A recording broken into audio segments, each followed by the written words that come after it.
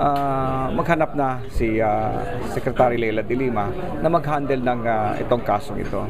At nakita na din namin at inamin na rin niya ang pag-uusap nila ni ah, Attorney Fortune. So kami na mga kliyente niya, kliyente ng gobyerno, kliyente ng ah, DOJ, ay nawala na rin ang trust kay ah, ah, Sec- ah, Yusek ah, Baraan.